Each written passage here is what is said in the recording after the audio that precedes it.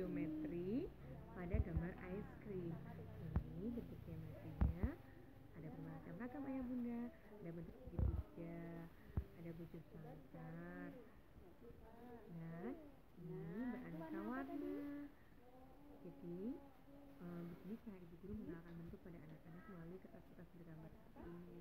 Dan ditempel.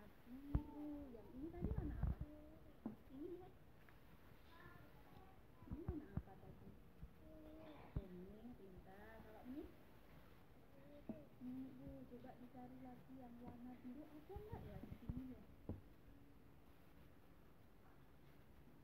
Nah, iya itu warna apa? Biru. Jadi diingat ya, ini tadi warna biru. Terus ini warna apa tadi mas? Kuning. Sudah bisa ya warna biru sama warna kuning. Nanti coba mbak suka main di sini, dicari ada nggak yang warna biru.